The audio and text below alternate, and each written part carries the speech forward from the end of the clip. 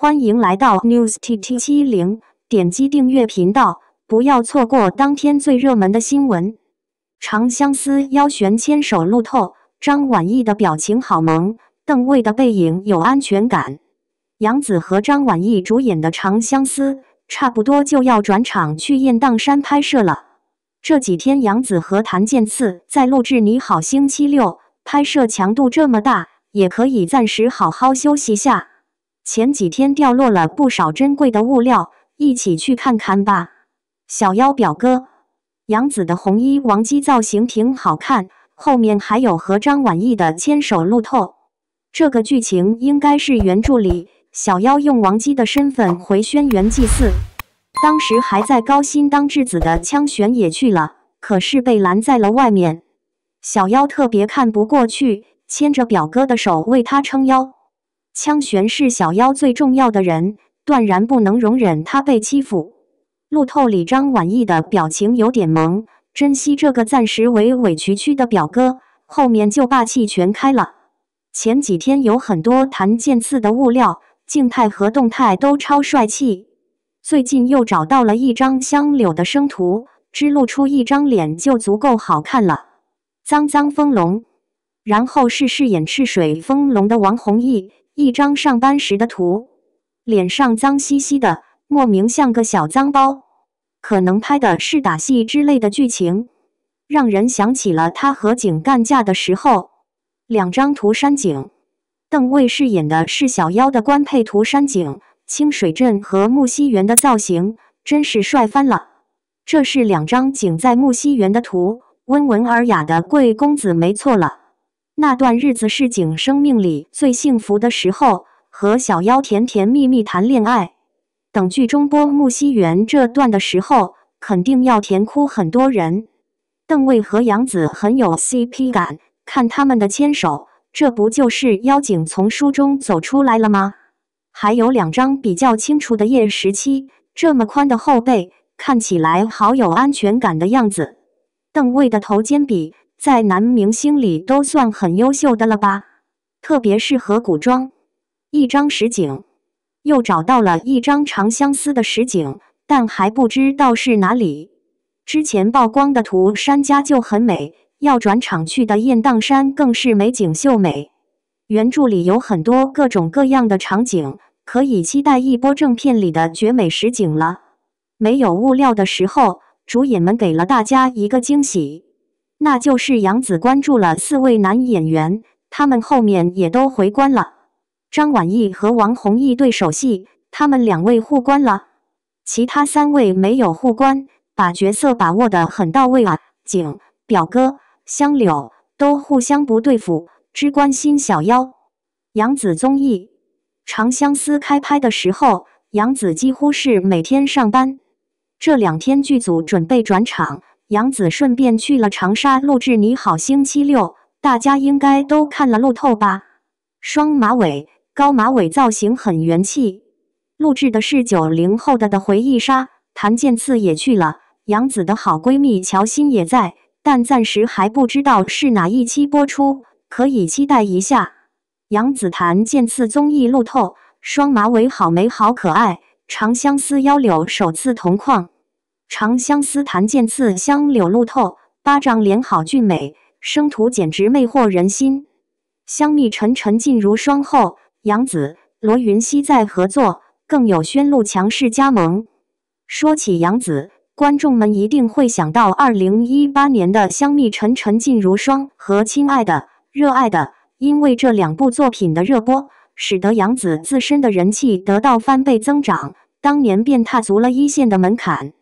香蜜沉沉烬如霜后，杨紫、罗云熙在合作，更有宣露强势加盟。在香蜜沉沉烬如霜中，杨紫饰演的是大女主锦觅。虽然她的官配是旭凤，但是不少观众却被她和润玉的 CP 圈粉，甚至直言锦觅要嫁给小鱼仙官儿。而在那部香蜜沉沉烬如霜中，润玉的饰演者就是如今同为一线的罗云熙。他也是凭借当年的这部大剧积累了演艺生涯中的第一份超高人气。虽然饰演的是一个反派，但是却深受观众喜爱。香蜜沉沉烬如霜之后，罗云熙的影视剧之路便算是彻底打开了，也迎来了更多主演的大剧，比如与张雪迎合作的《白发》，与陈钰琪合作的《月上重火》，与白鹿合作的《半世蜜糖半世伤》，与宋茜合作的《心跳源计划》，与程潇合作的《良言写意》等等。经过几年的发展，罗云熙已经算是一线男星了，担起一部剧的男主流量。已经是毫无压力的了，而杨紫自二零一八年两部大剧之后，就已经踏进了当红女星的门槛。随后先后拍摄《青簪行女心理师》《余生请多指教》等多部大剧。最重要的是，在香蜜沉沉烬如霜之后，观众们一直期待着杨紫和罗云熙可以再演一部古装剧，弥补当年润玉和锦觅的遗憾。如今终于等来了消息。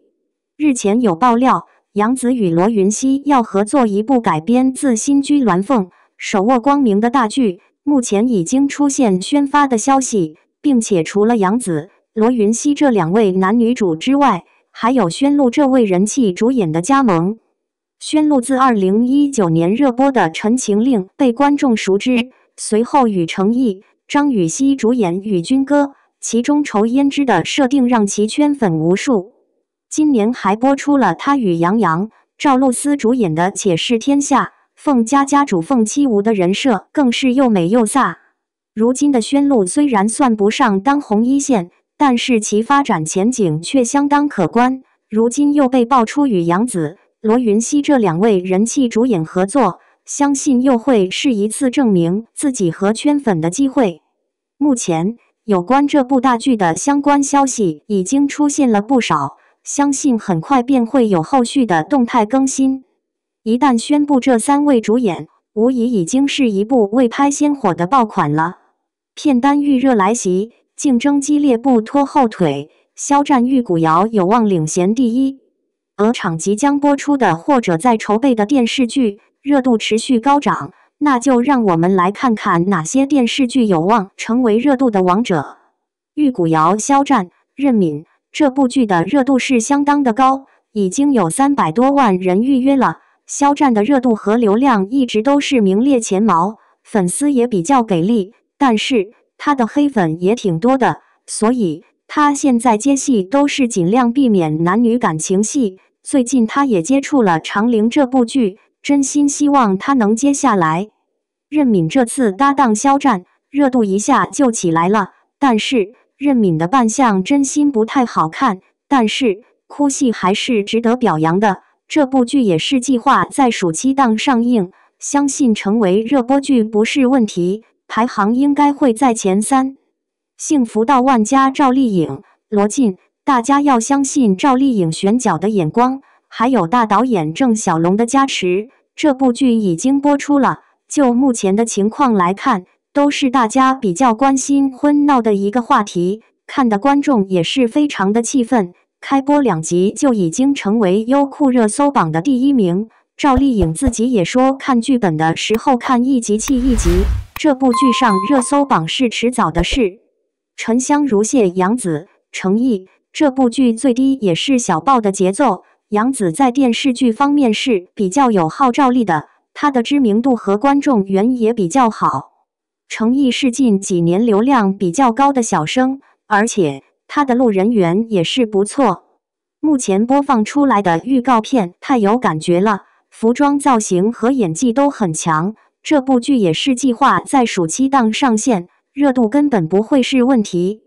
公诉精英迪丽热巴佟大为，这部剧对于热巴来说非常的重要，也是她转型之作的开端。但是。就目前放出来的视频来说，感觉有点差强人意了，不够庄重和有底蕴。这部剧还在进行后期制作中，最后呈现的效果应该比现在要好。这部剧本来也是献礼剧，已经有流量密码加持了，跟古装仙侠剧的概念都是不同的。当然还有肖战的那片海、张鲁一的三体等剧都不错。这个暑期太热闹了。感谢您观看视频。如果您觉得本时事通讯有用，请不要忘记点赞、评论和订阅。祝您生活愉快，充满活力。